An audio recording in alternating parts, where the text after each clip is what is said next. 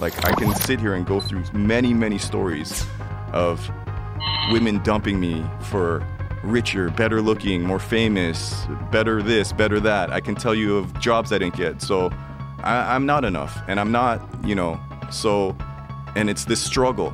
It's this burning fucking like the Michael Jordan shit. Like I gotta fucking. I'm not. At, I'm not at war. I'm not. You can't fucking cancel me. I've already canceled myself. How are you gonna cancel someone who's already canceled? There's nothing you're gonna say. There's nothing you're gonna fucking do that's gonna outweigh anything I've already said to myself. You, ah, that guy sucks. He's ugly. He's fat. He's full, full of shit. I've already said that. You know. So Do you think that fuels your art? Do you think there's a benefit? To absolutely, That sort of, yeah. absolutely.